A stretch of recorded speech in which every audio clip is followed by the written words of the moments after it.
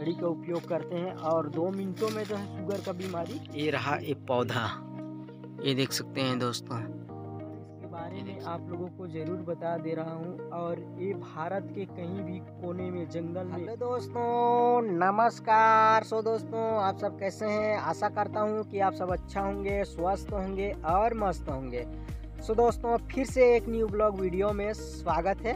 सो दोस्तों, यहाँ का नज़ारा देख सकते हैं। हम लोग अभी गर्मी वाला धान वगैरह लगाए हुए हैं। सो दोस्तों, बहुत दिन के बाद आज फिर से मैं अपना वीडियो शूट कर रहा हूँ।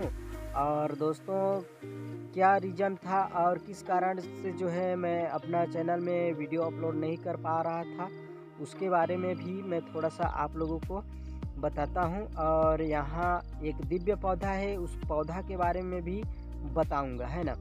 तो दोस्तों, देख सकते हैं, यहाँ मैं करीब एक महीना हो चुका एक महीना से जो है मैं खंभा वगैरह गाड़ रहा था, क्योंकि यहाँ झटका मशीन लगाया हूँ। ये देख सकते हैं, झटका मशीन लगाया हूँ यहाँ। और वो भी दोस्तों, मैं बीस हज़ार लोन लेके जो है मैं यहाँ पर झटका मशीन अभी लगाया हूँ। और धीरे धीरे धीरे धीरे करके मैं जो है लोन को भी चुकता करना है मेरे को। तो यहाँ घेरावा भी हो चुका मेरा फाइनल और यहाँ पर देख सकते हैं, झाला बना रहा हूँ और रात दिन यहाँ पर मेरे को रहना है और इस साइड जो है अपना चूल्हा वगैरह बनाएँगे और इसको जो है घेरेंगे, है ना? इसकी वजह से दोस्तों मैं जो है अपना blog video real life style न जंगल का जड़ी बूटी के बारे में आप लोगों तक नहीं शेयर कर पा रहा था, है ना? तो चलिए मौसम के हिसाब से तो जंगल का जड़ी बूटी आप लोगों को दिखाऊँगा ही। और साथ ही साथ मैं अपना रियल लाइफ स्टाइल ब्लॉग भी यहाँ शूट करूँगा और दिखाऊँगा आप लोगों को। कोशिश ज़रूर करूँगा कि आप लोगों तक वीडियो पहुँचाने के लिए जंगल का जड़ी बूटी यदि मिल जाए तो जंगल का जड़ी बूटी दिखाऊँगा और यहाँ तो रहूँगा ही, उसका भी वीडियो आप लोगों को देखने को इस चैनल के माध्यम से मिलेगा, है ना? तो देख सकते हैं दोस्तों यहाँ का नज़ारा और यहाँ जो है मिट्टी को जो है यहाँ से लेकर यहाँ को, इधर इस साइड को जो बराबर करूँगा, भाट कर, यहाँ से लेकर वहाँ तक। इसके बाद इसमें जो है घिरावा करूँगा और यहाँ पर रहने के लिए, खाना वगैरह बनाने के लिए जगह भी बनाना पड़ेगा दोस्तों। तो देख सकते हैं, अभी भी फ़िलहाल तैयार नहीं हुआ है झाला। देख सकते हैं, इस साइड को जो है मैं अभी पन्नी वगैरह से ढका हूँ और बाकी देख सकते हैं, परसों के लाया हूँ। झटका मशीन बीस हज़ार लोन लिए हैं और उसी पैसा से जो है झटका मशीन लाए हूँ। और देख सकते हैं चालू भी है, वहाँ से लेके वहाँ तक। वहाँ तक दिख रहा है हल्का हल्का सा देख सकते हैं, वहाँ तक। खंभा गाड़ा हूँ करीब करीब मेरे को यहाँ पे। एक महीना हो ही चुका दोस्तों, इसकी, इसी वजह से मेरे को रात दिन टेंशन होता था कि मैं जितना जल्दी सक, उतना जल्दी यहाँ का खंभा को तैयार करके और यहाँ धान वगैरह लगा के और यहाँ झाला वगैरह बना रहा हूँ। और चलिए, चलता हूँ। और उस दिव्य पौधा के बारे में भी बताना है मेरे को, है ना? तो यहाँ के जगह के बारे में और यहाँ का स्थिति के बारे में आप लोगों को मैं शेयर कर ही दिया हूँ। और ले जाता हूँ उस पौधा के पास और उस पौधा के बारे में आप लोगों को बताता हूँ। बहुत बहुत ही दिव्य, बहुत ही गुणकारी पौधा है। तो चलिए मेरे वीडियो में आगे बने रहे, है ना? तो चलिए चलते हैं और उस पौधा इस साइड जो है, दिख रहा है थोड़ा थोड़ा उसे साइड जाएँगे और उस पौधा के बारे में बताएँगे। और वहाँ पर दोस्तों जाता हूँ पानी लेने यहाँ, रहने के लिए, खाने पीने के लिए, बनाने के लिए। यहाँ पीने लायक पानी नहीं है, नदी है और वहाँ से लेके पानी लाना पड़ता है मेरे को, है ना? तो चलिए चलते हैं। के बारे में बताऊँगा आप लोगों को। तो दोस्तों, देख सकते हैं, इसी टाइप का मैं इसमें जो है घिरावा किया हूँ। देख सकते हैं खंभा गाड़ कर, है ना? यहाँ तक किया हूँ, है ना? तो चलिए चलते हैं उस दिव्य औषधि पौधा के बारे में बताऊँगा। वैसे तो दोस्तों, इस जंगल में बारह प्रकार का जड़ी बूटी है, लेकिन क्या होता है, मौसम के हिसाब से जो है, जड़ी बूटी मिलता है इस जंगल में, है ना? फ़िलहाल अगला वीडियो में मैं आप लोगों को बताऊँगा शुगर की बीमारी के लिए जो है जड़ी बूटी बताऊँगा। यदि इस जंगल में मिल जाए तो है ना? ढूँढने का कोशिश करूँगा। आप लोगों को दिखाऊँगा कि शुगर का बीमारी में जो है कौन सा जड़ी का उपयोग करते हैं और दो मिनटों में जो है शुगर का बीमारी दूर हो जाता है। तो दोस्तों, मैं पहुँच चुका हूँ उस दिव्य पौधा के पास और दिखा रहा हूँ, आप लोगों को देख सकते हैं। ये रहा एक पौधा। ये देख सकते हैं दोस्तों। ये देख सकते और इसकी पत्ती का बात किया जाए तो चलिए तोड़ लेते हैं। इसके बाद आप लोगों को इसकी पत्ती दिखाता हूँ कि किस प्रकार इसका पत्ती होता है। है ना? और लोग दोस्तों देख सकते हैं, आप लोगों को विश्वास नहीं होगा, फिर भी देख सकते हैं कि लोगों ने कितना छिल छिल कर ले गए हुए हैं। और ये है दोस्तों, रकत बिरायर के नाम से हम लोग गाँव ग्रामीण भाषा में रकत बिरार के नाम से ज़्यादातर जानते हैं। और क्या होता है? दर्द में जो है, अधिकतर काम आता है। दर्द के लिए बहुत ही रामबाण दवा है। इसकी पत्ती की बात किया जाए तो कुछ इसी प्रकार का होता है, दोस्तों, देख सकते हैं। है ना? और ये पौधा जो है, बहुत बड़ा पौधा होता है।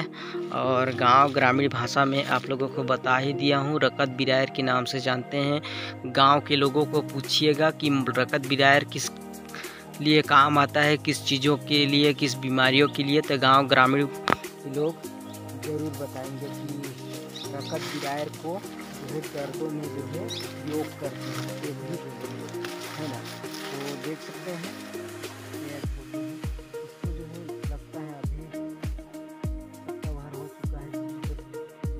गया है। तो देख सकते हैं, इसको जो है सप्ताह भर हुआ है। किसी को दर्द होता था ना तो लेकर चला गया है।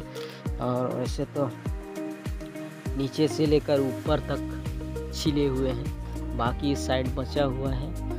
गाँव के लोगों को जिसको भी दर्द होता है जाते हैं। और इसका जो है उपयोग कैसे करते हैं तो आप सभी लोगों को बता दे रहा हूँ। क्योंकि हाल को जो है कर ले जाकर पत्थर से जो है कूट पीस कर चटनी बना लीजिएगा। चटनी बनाने के बाद उसमें हल्का सा गुनगुना पानी ले लीजिएगा। गुनगुना पानी से जो है उसको मिलाकर छान लीजिएगा। छानने के बाद जिस दिशा में सूर्य देव उगता है, उस दिशा में आपका मुख सामने होना चाहिए। इसके बाद एक बूंद धरती माता को चुआ लीजिएगा। इसके बाद पीस लीजिएगा। देखना चंद मिनटों में जो दर्द दूर होगा। ये हंड्रेड परसेंट गारंटी के साथ कहता हूँ और आप लोगों को प्रूफ के साथ कहता हूँ। देख सकते हैं कि लोग ने कितना छिले हुए हैं। मेरे पास अभी सुविधा नहीं है कूटने पीसने के लिए। इसकी वजह से आप लोगों को कूट पीस कर सेवन करके नहीं दिखा रहा, पा रहा हूँ। पर इसके बारे में आप लोगों को ज़रूर बता दे रहा हूँ। और ये भारत के कहीं भी कोने में, जंगल में मिल जाता है रकत बिरायर और आप लोग भी इसका उपयोग करके अवश्य देखें। और कल का वीडियो में हो ना हो सकता है मैं घूमने का कोशिश करूँगा शुगर के लिए। जड़ी बूटी का पत्ती जो है, एक पत्ती खा देने से जो है शुगर ठीक हो जाता है। वो भी गारंटी के साथ कहता हूँ, एक पत्ती उसको खाइएगा एक एक चम्मच शक्कर खाइएगा तो उड़िया जैसे लगेगा, है ना? उसके बारे में भी बताऊँगा कल का वीडियो में, अगर यदि इस जंगल में जो है मिल जाए तो है ना? तो दोस्तों फाइनली इस पौधा के बारे में आप सभी लोगों को मैं बता ही दिया हूँ। और इस पौधा यदि मिल जाए तो आप लोग सेवन इसका ज़रूर करके देखें एक बार। और बहुत ही फ़ायदेमंद पौधा है। तो चलिए दोस्तों आज का दिव्य पौधा के बारे में आप लोगों को दिखाई दिया हूँ। थोड़ा सा मेरे को काम करना है अपना। सो so, दोस्तों मैं यहाँ पर फाइनली आ चुका हूँ अपना घर के पास। देख सकते हैं। टडंग टडंग। मेरा घर मेरा घर बन रहा है दोस्तों। पिछले एक महीना से मैं यहाँ काम कर रहा हूँ दोस्तों। धान वगैरह तो लगा ही लिए हैं। बाकी बच चुका है इसका छानी वगैरह। तिरपाल उरपाल हम्म, जुगाड़ करेंगे और यहाँ पर मिट्टी वगैरह को अभी भाट लूँगा दोस्तों। इसके बाद मेरा घर जो है कंप्लीट हो जाएगा और इसको दोस्तों जो है मैं कल से हो सकता है इसको घेरूँगा घेरावा करूँगा क्योंकि बाहर से कुछ अंदर ना दिखे है ना? क्योंकि यहाँ रहने पर जो है ख़तरा भी हो सकता है। क्योंकि ख़तरा क्या रहेगा दोस्तों, हम लोग जंगल में रहकर आदत बना लिए हैं और हम लोगों का इस साइड जो है, खेत वगैरह है और यहाँ पर हम लोग गर्मी का धान लगाते हैं और इस साइड जो है नदी है है ना? नदी का पानी इसमें जो है सिंचाई करते हैं खेतों में। तो चलिए दोस्तों, मैं अभी इस मिट्टी को जो है खोद कर यहाँ लगा लेता हूँ, है ना?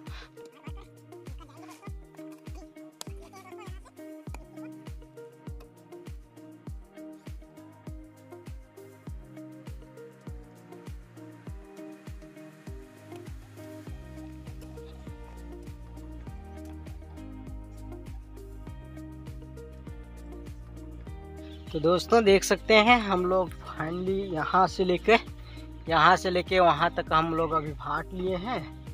ये देख सकते हैं, काफ़ी समय हो चुका है और इस साइड को देख सकते हैं हम लोग छोटा सा डॉग पोसे हैं। है ना, क्योंकि रात का समय में यहाँ रहेंगे तो आवाज़ देगा ना, इसकी वजह से हम लोग छोटा सा डॉग पोसे हैं। और यहाँ पर ये अभी करता रहेगा, मेरा भाचा जो है, भाटता रहेगा। और मैं आप लोगों को तो दोस्तों देख सकते हैं काफ़ी खूबसूरत है। यहाँ नज़ारा है ये देख सकते हैं धान वन लगाए हुए हैं है ना? कुछ इस प्रकार का। यहाँ खेती की है। तो दोस्तों यहाँ का मिट्टी जो है धीरे धीरे हम लोग दोपहर यहाँ करेंगे ही।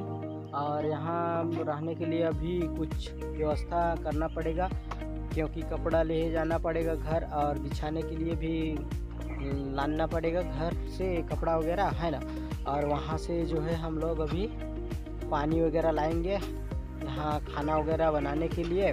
तो काफ़ी समय हो चुका है और बहुत ज़्यादा तो नहीं बचा है भाटने के लिए, कम ही बचा है। पर यहाँ आग वगैरह जगलाने के लिए हम लोग अभी इसको बराबर करेंगे। इसके बाद यहाँ पे आग उग जगलाएँगे और अभी भी मेरा भाचा जो है माटी कोड़ रहा है, देख सकते हैं।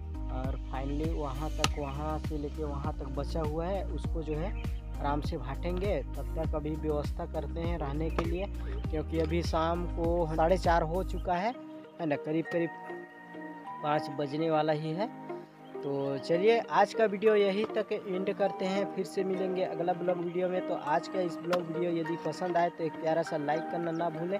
और मेरे यूट्यूब चैनल में नए होंगे तो चैनल को सब्सक्राइब ज़रूर कर दीजिएगा और साथ ही साथ बेल आइकन को प्रेस ज़रूर कर लीजिएगा ताकि और इसी तरीके का और वीडियो डालूँ। तो सबसे पहले आप लोगों तक पहुँचता रहे। फिर से मिलेंगे अगला ब्लॉग वीडियो में कल।